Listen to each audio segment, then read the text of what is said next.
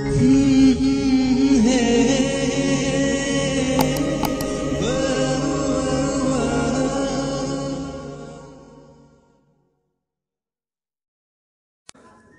আলাইকুম ফ্রেন্ডস কেমন আছেন সবাই? আশা করছি ভালো আছেন। আজ আমি আপনাদের জন্য তোমাকেই মনে পড়ে এই গল্পের সতেরো নাম্বার পর্বটি নিয়ে হাজির হয়ে গেলাম। আশা করছি আপনাদের সবার ভালো লাগবে। আর তাই গল্পের শুরু থেকে শেষ পর্যন্ত অবশ্যই অবশ্যই দেখবেন। পুরো গল্পটা দেখার পর কমেন্ট করে জানাবেন গল্পটা আপনার কেমন লেগেছে। যদি ভালো লেগে থাকে, একটি লাইক দিয়ে দিবেন। আর আপনি যদি ফারুকস ডায়েরিতে নতুন এসে থাকেন অথবা চ্যানেলটি এখনও সাবস্ক্রাইব না করে থাকেন, তাহলে আপনার কাছে একটাই রিকোয়েস্ট অবশ্যই চ্যানেলটি সাবস্ক্রাইব করে পাশের বেল বাটনে ক্লিক করে দিবেন। আমাদের নতুন ভিডিওর নোটিফিকেশন পেতে। যারা অলরেডি চ্যানেলটি সাবস্ক্রাইব করে আমাদের সাথে আছেন, তাদেরকে জানাই অসংখ্য ধন্যবাদ। তো চলুন বকবক না করে সরাসরি গল্পে চলে যাই। রাতের অন্ধকারে পুরো সেন্টারের আলোকসজ্জা চারদিকে আলোকিত হয়ে আছে। আজ অনন্দিতা তার ফারহানের বউ বাদ কিছু বিশিষ্ট মানুষকে আমন্ত্রণ জানিয়েছে রমজান শেখ। একমাত্র ছেলের বিয়ে বলে কথা। পালা থেকে সাজিয়ে আনন্দিতাকে নিয়ে সেন্টারের উদ্দেশ্যে রওনা হয় সাজি। ফারহানের বেশ কিছু ক্লায়েন্টও আসছে এই অনুষ্ঠানে। বেগুনি রঙের কাতান শাড়িতে খুব একটা খারাপ লাগছে না অয়নন্দিতাকে। নাকের নোলকটাতে বেশ সুন্দর লাগছিল তাকে। সাথে আরও কিছু বাড়ি গহনা। শাড়ি আর গহনার ওজনে সে নিজেই নুয়ে পড়েছে। অন্যদিকে ফারহান সোজা স্টেজে না পৌঁছে বড় রাস্তার মোড়ে হাইওয়েতে গাড়ি নিয়ে অপেক্ষা করে আছে, কারণ অনিন্দিতাকে এই রাস্তা দিয়েই নিয়ে আসা হবে। ফারহানের প্ল্যান ছিল তারা দুজন একই সাথে সেন্টারে যাবে, তাই সাজির সাথে প্ল্যানিং করেই গাড়ি বড় রাস্তার মোড় দিয়ে নেওয়া হয়েছে। গাড়ি যখন থেমে যায়, তখন অনিন্দিতাও একটু চমকে যায়। হঠাৎ এইভাবে গাড়ি থামিয়ে দেওয়ার কারণ দেখিনি। সে আর এটাই তার চমকানোর বড় কারণ। হুট করেই ননদকে প্রশ্ন করে বসে অনন্দিতা, সাজি, গাড়ি থামালে যে? বাবির প্রশ্নের উত্তরের বিনিময়ে সাজি শুধু হেসেই যায়। তারপর হুট করেই কাকে যেন ফোন করে বলে, সাজি, হ্যালো, কই তুই ভাইয়া? অপর প্রান্তের কোনো কথা শোনা যাচ্ছে না, সাজি বলল, আমি কি ওই গাড়িতে চলে আসব? তারপর আবার বলল, ওকে, তাহলে আয়, আমি নামছি। অনিন্দিতা সাজির কথা শুনে বুঝে যায় তাদের দুই ভাই বোনের কোনো প্ল্যান আছে এখানে। বুঝতে পেরে চুপ করে আর থাকে সে। হুট করে মাথায় হাজারো ভাবনা জেগে ওঠে। এখানে মেরে ফেলবে না তো তাকে? এমনও হতে পারে তাকে খুন করার জন্য ফারহান লোক পাঠিয়েছে। সাজি সম্পূর্ণ তার ভাইয়াকে সাপোর্ট করেছে। সব কিছু মুহূর্তের মাঝেই গুলিয়ে যাচ্ছে তার। তবুও চুপ করে সে। কারণ এই মুহূর্তে কিছুই করার নেই তার। সাজিও গাড়ি থেকে নেমে যায়। গাড়ি থেকে নামার সময় মুচকি হাসি দিয়ে বলে অল দ্য বেস্ট অনিন্দিতার গাল দুটো টিপে দেয় সাজি। এতে অনিন্দিতা আরও ঘাবড়ে যায়। সাজি গাড়ি থেকে নামার পাঁচ মিনিট পর কেউ একজন সেই গাড়িতে উঠে বসে। এই ফাঁকে এইখানে ফারহানকে দেখে অনেক অবাক হয় অনিন্দিতা। ফারহান গাড়িতে উঠি অনিন্দিতার কপালে আলতো করে একটা চুমু দেয়। অয়নি বলল, তুমি এখানে? ফারহান বলল হ্যাঁ আমিই তো থাকব, নাকি অন্য কেউ আশা করেছিলে? অয়নি বলল, প্রথমত তোমাকে এখানে এইভাবে আশা করবি দ্বিতীয়ত, আমার কোনো প্রাক্তন নেই যে আমি তাকে আশা করব। ফরহান বলল, ওকে ওকে, হয়েছে। আমি চাইছিলাম যাতে আমরা একসাথে সেন্টারে যাই। তাই গাড়ি নিয়ে সোজা চলে এসেছি। অয়নি বলল, ও। ফারহান বলল বাই দ্য দারুণ লাগছে কিন্তু তোমায়। অয়নি বলল, ধন্যবাদ। ফারহান বলল, একেবারে বাদ দিয়ে দিলে? ও শিট ভালোবেসে কমপ্লিমেন্ট দিলাম, আর সে কিনা বাদ দিয়ে দিল? ফরহানের কথা ঠিক করে হেসে দেয় অরণন্দিতা অরণন্দিতার একটা হাসি দেখার জন্যই যেন ফরহানের অপেক্ষা ছিল। ওকে, যাও, বাদ দিলাম না। ধন্য, যোগ। আমার সৌন্দর্যের তারিফ করার জন্য। ফরহান বলল দ্যাটস লাইক মাই গার্ল এই না হলে বউ একদম আমার মনের মতো। লক্ষ্মী রানী হয়ে থাকবে আমার সারা জীবনের রাজপ্রাসাদে। আমি বলল, রাজামশাই, থাকতে দিলে থাকব। ফারহান বলল, রাজামশাই, রানী বউয়ের জন্য এই রাজপ্রাসাদ বানিয়ে রেখেছে। কত রাজকুমারীরা এলো, অথচ আফসোস, কেউই রানী হয়ে উঠতে পারেনি। ফারহানের সাথে কথা বলতে বলতে কখন যে সেন্টারের কাছে পৌঁছে গেছে তা বলতে পারবে না অনন্দিতা।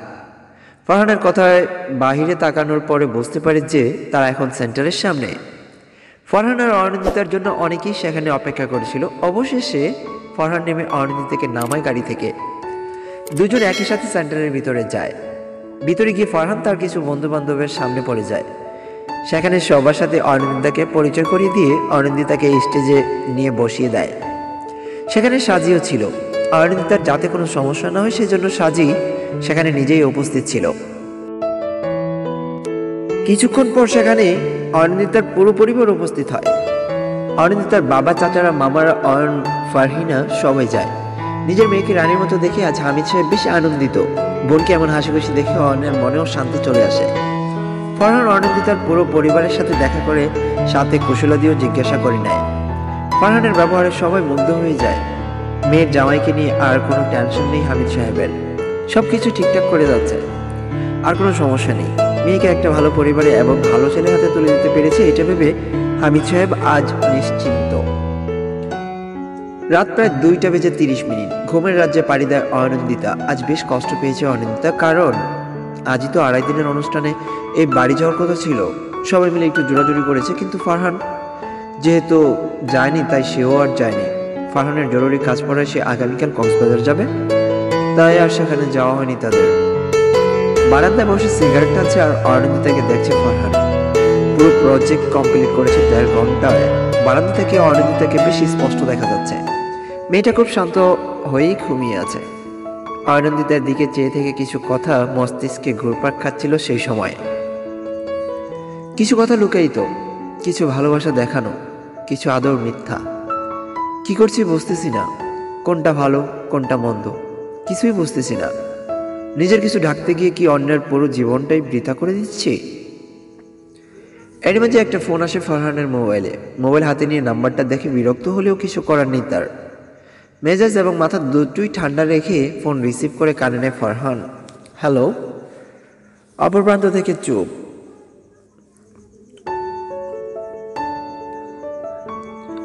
আগামীকাল আসব? অপর প্রান্ত থেকে চুপ। ফারহান বলল সব কিছু মেটানোর জন্য বিয়েটা প্রয়োজন ছিল আমার। অপর প্রান্ত থেকে চুপ। ফরহান শেখ যা করে বুঝে শুনি করে হ্যাঁ যখন তখন আমার মোবাইলে যাতে ফোন না আসে। অপর প্রান্তের কোনো কথা শোনা যাচ্ছে না। ফারহান বলল, আমি অনিন্দিতাকে এই দুই দিনে যতটা নিজের আয়ত্তে এনেছি এরপর কিছু ঘটে গেলেও সে নিজেকে ঠিক সামনে নেবে। অপর প্রান্তের কোনো কথাই তো শুনছি না। আমি কাকে ভালোবাসবো, না বাসবো এটা একান্ত আমার ব্যাপার। আমার ধৈর্যের পরীক্ষা নেওয়াটা হবে সব থেকে বড় বোকামি। অপর প্রান্তের কথা শুনে ফারহান বলল, এই ডিসিশন কার ছিল তবে? আমি জামানা চাচ্ছি না। কথা ওখানেই অফ থাক। আমি আগামীকাল আসব, তারপর কথা হবে। তারপর অপর প্রান্তের কথা শুনে ফারহান বলল, চুপ। একদম চুপ, আর একটা কথাও নয়। সবকিছু নষ্ট করে দিয়ে এখন এত কথা কিসের? আমি নিজের সবটা গুছিয়ে নিয়েছিলাম, এখন কেন এত কিছু? আমার মাথা খারাপ হয়ে গেলে একদম খুন করে ফেলব। বেশ রাগ করেই লাইনটা কেটে দেয় ফারহান। এত কিছু করার প্রয়োজন শুধু একটাই, যা ফারহানের সব থেকে বড় ক্ষতির কারণ। কিন্তু এইসবের মাঝে একজনকে সবকিছু ভোগ করতে হবে হয়তো সারা জীবনের জন্য। সেই সব কিছুটা হচ্ছে কষ্ট, দুঃখ, যন্ত্রণা, বেদনা। পেয়ে হারানোর অভিজ্ঞতা। কাছে থেকেও দূরে যাওয়ার তিক্ততা। এই সবটাই অনিন্দিতার জন্য অপেক্ষা করে আছে। যার বিন্দুমাত্র ধারণাও নেই অনিন্দিতার। এইসব ভেবেই ফারহানের কোথাও একটা খারাপ লাগা কাজ করেছে। আর যাই হোক, কিছু মিথ্যা আশ্বাস দিয়ে মিথ্যা গোড়ের মাঝে রেখে কাউকে রাখা উচিত না। সাজিকে দিয়ে নিজের মোবাইল দিয়ে আজ সন্ধ্যায় কয়েকটা ছবি তুলে রেখেছিল ফারহান। হাতের মোবাইল থাকা গ্যালারিতে গিয়ে সেই ছবিগুলো এক নজর দেখেই যাচ্ছিল ফারহান। অনিন্দিতাকে বেশ প্রাণ চঞ্চল লাগছে। মনে হচ্ছিল নিজের মনের আকাশে সবটাই সে ফারহানের নামে উজাড় করে দিয়েছে। সবটা কি বলে দিব? নাকি আরেকটা দুর্বল করব? নাকি তাকে আরও ভালোবাসার মাঝে আটকে দিব? অন্যায় করছি না তো। কিন্তু অনিন্দিতা ছাড়াও তো কাউকে পাইনি যে আমার এই সাথে এইভাবে থাকবে। অনিন্দিতা তো একটাই হয়, যার মাঝে কষ্টের ভিতর থেকেও মুখে হাসি রাখার ক্ষমতা আছে। অনিন্দিতা এতটাই শক্ত করে দিব যাতে সব কষ্ট সহ্য করার ক্ষমতা সে রাখে, কিন্তু আমার থেকে দূরে কোথাও যেতে দিব না তাকে। এটা ফারহান শেখের ওয়াদা, তো ফ্রেন্ডস আজকের গল্পের পর্ব এতটুকু ছিল, আশা করছি আপনাদের ভালো লেগেছে। যদি ভালো লেগে থাকে, একটি লাইক দিয়ে দিবেন, আর আপনি যদি আমাদের চ্যানেলের নতুন দর্শক হয়ে থাকেন, তাহলে চ্যানেলটি সাবস্ক্রাইব করে ফরেক্স স্টাডির সাথেই থাকবেন। আর যারা অলরেডি চ্যানেলটি সাবস্ক্রাইব করে আমাদের সাথে আছেন, তাদেরকে জানাই থ্যাংক ইউ সো মাচ পরবর্তী গল্প পাওয়া পর্যন্ত ভালো থাকবেন, সুস্থ থাকবেন। হাসি আর আনন্দের মাঝে থাকবেন সেই কামনায়। আল্লাহ হাফিজ বাবাই টাটা।